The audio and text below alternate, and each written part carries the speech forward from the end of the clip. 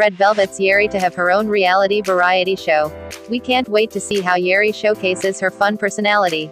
Earlier this month, Red Velvet's Yeri asked fans what kind of content they'd want to see if she started her own YouTube channel.